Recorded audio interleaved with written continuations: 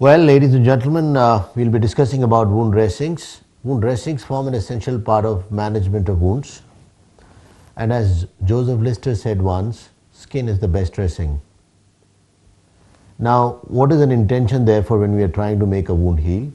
The intention is to dress it until such time that it is ready to take up a skin cover in the form of a skin graft or a skin flap. Now, wound dressings have been in use for centuries and for generations with various kinds of innovative interventions and the newer developments that we have now encountered in the 20th and 21st century that we are going to see.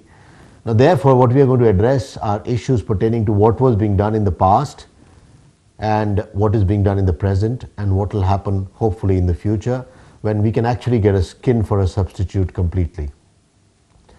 Now, uh, it is well said that uh, only skin can heal skin, and skin will heal if given the chance. So, all you need to do is ensure that skin is able to be able to heal itself, and we are able to provide it the cover.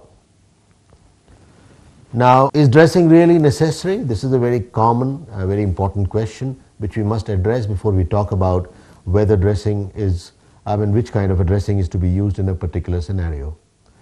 Now, this um, mm, uh, cartoon actually depicts the need for uh, the dressing. As you can see on the in, in the first uh, uh, film or the first shot, that the, there are epithelial cells which are trying to fill up the defect that is visible, and in their attempt to fill up this defect, they are comfortably covered and they are comfortably aided by a cover in the form of a dressing, which is in the film one or the or the the cartoon first cartoon that you're seeing. And in the second one, as you see, it is exposed to the air.